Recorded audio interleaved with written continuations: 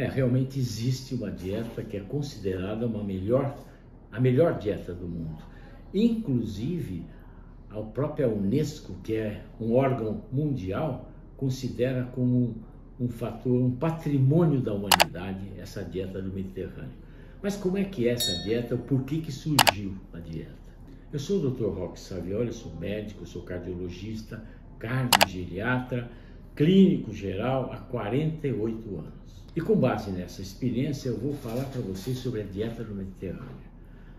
Veja só, tudo começou quando, logo depois da Segunda Grande Guerra, durante a avaliação dos soldados, então se verificou que esses soldados estavam ganhando muito peso e estavam morrendo muito facilmente de doenças cardiovasculares. E começaram as pesquisas e foram descobrir que existiam alguns locais no mundo que chamava-se blue que eram zonas onde a mortalidade era pequena e a longevidade era maior, era muito grande. Bom, então foram estudar por que, que aquelas pessoas que viviam no sul do Mediterrâneo, na Espanha, na Grécia, na Itália, na França, por que, que elas viviam mais? O que, que, que, que hábitos de vida elas tinham, de modo que viviam mais e tinham menos doenças do que os próprios americanos? Bom, e viram que na alimentação havia uma diferença crucial e uma diferença importante. Então, qual que era essa dieta, a famosa dieta do Mediterrâneo? É uma dieta, é uma dieta, é uma dieta baseada em frutas, verduras, grãos, pouca carne vermelha, muito peixe, carne branca e principalmente o uso do azeite de oliva. Essa dieta foi comprovada inicialmente no estudo chamado em sete países. E depois, vários estudos foram se sucedendo. Um estudo feito na França de Lion Diet, e foram fazendo em sequência, e hoje a gente sabe que as pessoas que usam, que aplicam essa dieta no Mediterrâneo, elas têm 20% a 30, 20 a 30% de menor chance de desenvolver doenças cardiovasculares. Evidentemente que isso foi feito na dieta na, nos países mediterrâneos, mas ela sim é aplicável em qualquer lugar do mundo sabe? Inclusive a sazonalidade das frutas e tudo vai depender muito do lugar onde você está, que tipo de fruta que você vai comer, que tipo, mas o mais importante é esse pilar todo que tem, né? Existe um, existe até um, um, uma pirâmide, né? Que você classifica os alimentos de acordo com, com a, com, a, frequência, né? No topo da pirâmide, quer dizer, onde você não pode usar, tá carne vermelha, tá? Tá, hábitos de aquilo que a gente considera hábitos de vida não saudáveis. Mas você pode aplicar isso em qualquer lugar do mundo, sim, porque é possível fazer da sua casa uma blusone, quer dizer, você viver melhor e envelhecer com mais saúde. É só para o coração que, que faz bem, faz para todos o sistema cardiovascular, inclusive para a doença de Alzheimer. Já existem estudos que comprovam que a doença de Alzheimer é retardada e é prevenida nas pessoas que usam essa dieta. Então é extremamente importante e hoje se fala até numa dieta que é a dieta do Mediterrâneo, né, com menos sal.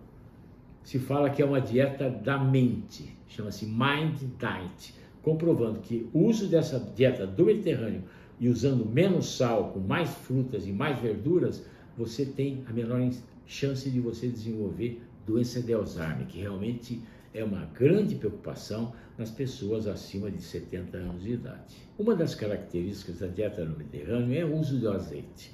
Mas muita gente me pergunta, olha, mas a gordura não faz mal para o coração, não faz mal para o cérebro? Não, é que o azeite de oliva é uma gordura monossaturada.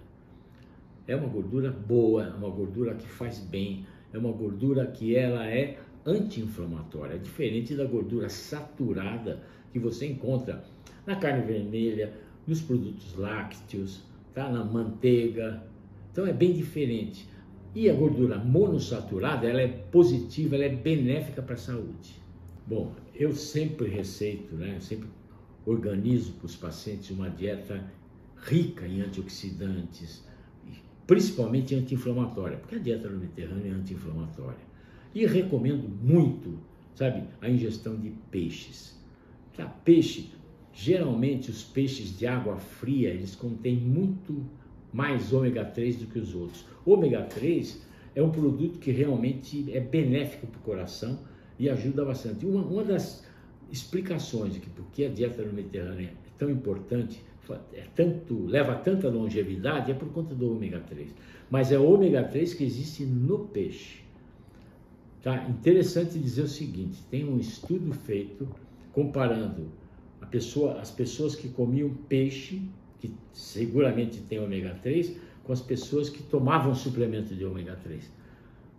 A diferença foi muito grande da, da mortalidade de doenças cardiovasculares, mostrando que o ômega 3 suplementado ele não tem o mesmo efeito que o peixe. Por isso que eu mando comer peixe. E tem outros detalhes. O peixe é melhor o melhor peixe que, que, que, você encontra, que é um peixe mais barato que a gente encontra aqui no Brasil, é a sardinha. A sardinha é riquíssima em ômega 3 e ela pode ser consumida de uma forma geral, pelo menos duas vezes por semana, que eu recomendo que coma peixe. Mas, além do peixe, eu recomendo também algumas frutas que têm gordura monossaturada, como por exemplo abacate. Né, uma salada de abacate com tomate sabe? Antes de você se alimentar, antes de você comer, comer o seu peixe, comer o grão, que aqui no Brasil a gente come feijão com arroz mesmo, né? Que é exatamente isso que se faz. Arroz, feijão, uma salada que use abacate, o peixe, a sardinha que você pode fazer, e com isso você vai estar protegendo o seu coração. E na sobremesa, como uma fruta, não é? A dieta do Mediterrâneo também recomenda o uso de, de quantidades pequenas de vinho tinto seco. Mas eu não recomendo isso para pessoas que têm diabetes, pessoas que têm histórico de alcoolismo, e também a quantidade é pequena, são 100 ml que você pode tomar no almoço e pode tomar no jantar. Vinho tinto seco, mas não para diabético e não para pessoas que têm histórico de alcoolismo. A quantidade de vinho tinto seco que é recomendado, que está na dieta do Mediterrâneo, é meia taça de vinho, 100 ml de vinho no almoço, 100 ml de jantar no jantar. Não deve exagerar no consumo de álcool, porque, ao contrário de fazer bem, vai fazer mal para o coração. O outro detalhe da dieta do Mediterrâneo é que você não deve consumir muito sal e nem muito açúcar. A gente sabe que a quantidade de sal recomendada são 5 gramas por dia. Só que o brasileiro, ele consome 12 gramas, que é um consumo exagerado de sal. Esse consumo exagerado vai aumentar o risco de hipertensão arterial, que é uma doença muito frequente que leva a complicações sérias. Ela é chamada de assassina silenciosa. Além disso, consumo exagerado de açúcar, que pode levar a obesidade, pode levar a diabetes. Então, o importante dessa dieta é que você tem que restringir a quantidade de sal e restringir a quantidade de açúcar. Além de todos, sabe, todas as recomendações que existem dentro da dieta. É importante frisar o seguinte, que não é só a dieta, é o estilo de vida do Mediterrâneo. O que é o estilo de vida deles? ter convívio social, você jantar, almoçar, tomar as refeições em família, caminhar, andar, dançar, namorar, fazer exercício físico, quer dizer, é todo um estilo de vida que vai, que se você modifica, você vai ter vida melhor, você vai envelhecer com mais tranquilidade, você vai envelhecer com saúde que vai, vai, vai diminuir a incidência de doenças cardiovasculares, que é um dos principais, é uma das principais metas né, da prevenção.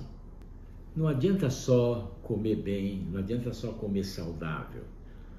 É todo um contexto, né? O estilo de vida do Mediterrâneo, quer dizer, essa mudança total do jeito de viver é que vai fazer você envelhecer com saúde, viver melhor sem doenças, ficando jovem por muito mais tempo.